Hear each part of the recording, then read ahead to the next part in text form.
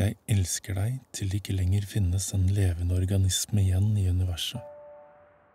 Kanskje selv da vil det være en del av kjærligheten som flyter rundt blant alle de slukkede stjernene. Du er min datter, uansett hva.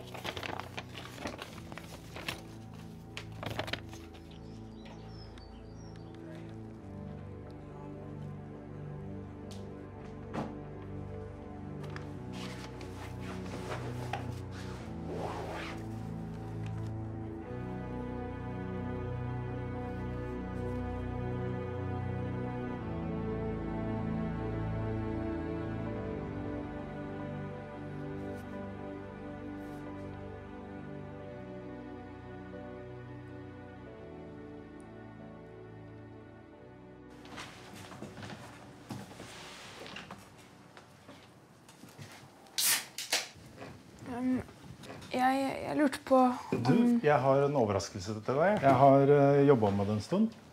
Uh, se opp esken. Nei.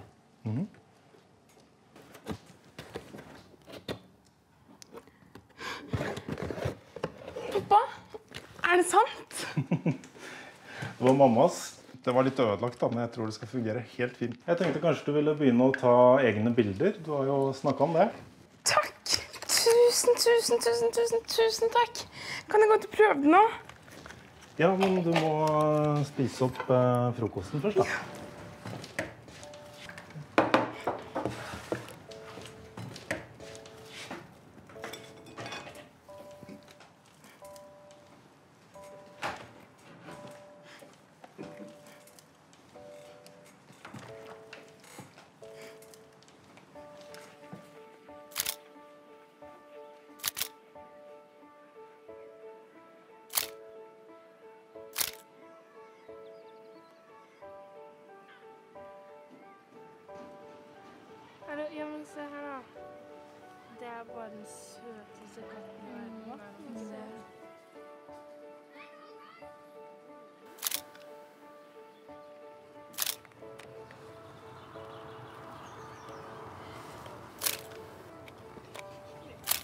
Hva gjør du?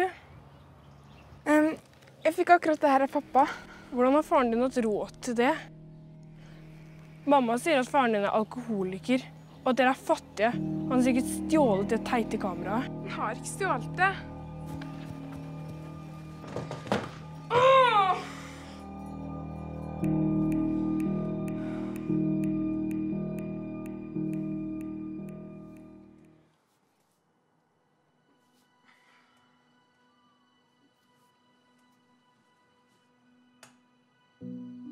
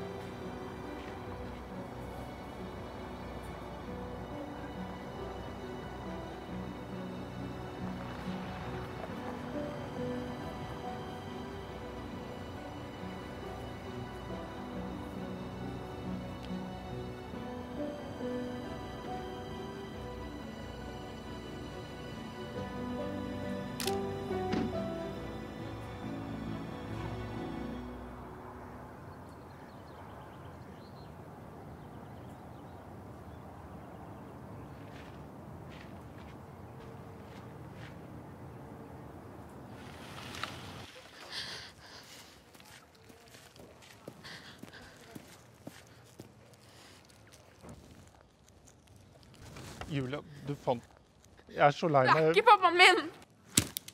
Du løy! Hvorfor har du løyet til meg? Du har sagt det til pappaen min, men det er du ikke. Julia, jeg er pappaen din. Du er nødt til å høre på meg. Du er ikke pappaen min! Du kan ikke fortelle hva jeg skal gjøre!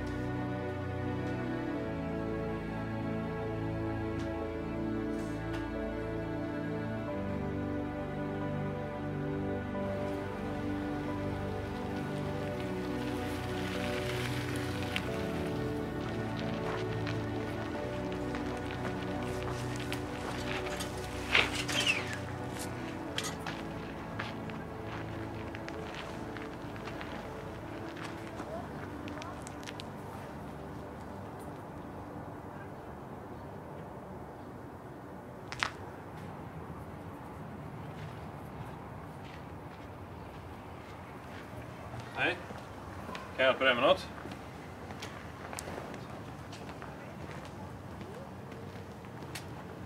Nei vel, men kan du i alle fall flytte på sykkelen? Den ligger i veien. Vent. Jeg er um, Jeg er Elisabeth Lund sin datter. Jeg kjenner ingen med det navnet. Og um, er, du, er du sikker? Ganske sikker, ja. Får du ta og gå. Eh, Du har redan forstört blommene mine. Men du er Fredrik. Hvor fant du adressen min? Gav hun den til deg, eller? Jeg, jeg fant den. Du er Fredrik. Jeg kjenner deg igjen fra bildene. Nei, du får ta og gå. Eh, Vi ble enige om at det var best på det her. Enig om hva? Jeg, jeg skjønner ikke. Snälla. Kan du ikke bare gå nå, ok? Det fungerade ikke da, og det kommer ikke til å fungere nå. Så du måste gå, ok? Det kan du berätta for din mamma. Mammaen min er død. Jeg beklager. Jeg beklager, men... eh, jeg vet ikke. Jeg funger... Nei, bare gå nå, ok? Gå hjem.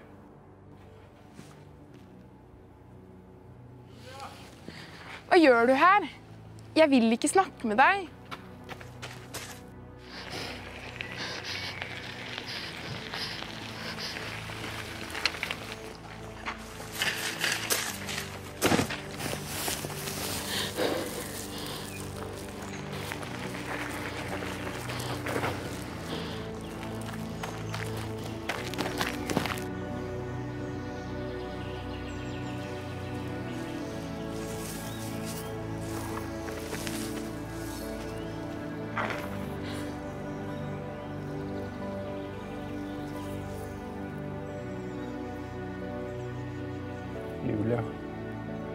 Mamma og meg, vi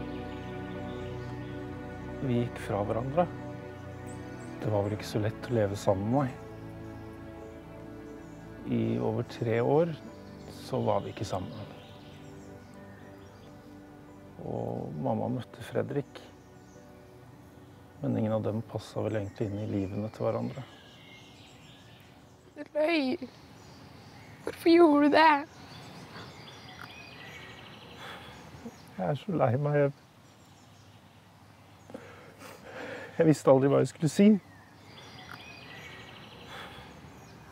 Men jeg er pappaen din. Uansett hva, så er jeg her. OK? Noen sa at du er alkoholiker. Er det fordi du aldri drikker øl og sovner? Jeg vet ikke Kaller du det det? Vet du hva, jeg skal love deg. Jeg skal, jeg skal virkelig love deg at jeg skal prøve. Jeg skal prøve å gjøre ting litt bedre, OK? Pappa? Ja. Hvorfor måtte du dø? Jeg, jeg, jeg vet ikke hvorfor noe sånt skjer. Hun var så syk. Kroppen hennes klarte ikke lenger. Men vet du hva hun sa til meg? Hun sa at hun ikke hadde tapt. Hun hadde fått deg. Og ingen med noe så vakkert i livet sitt kan si at man har tapt.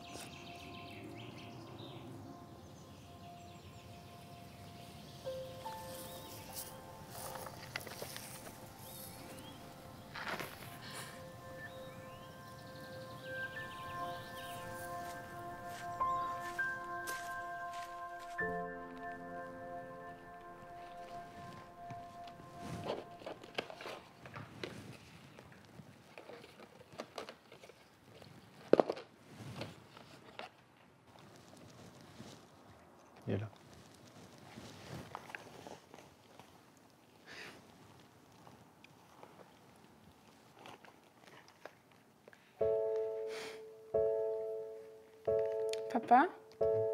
Smil.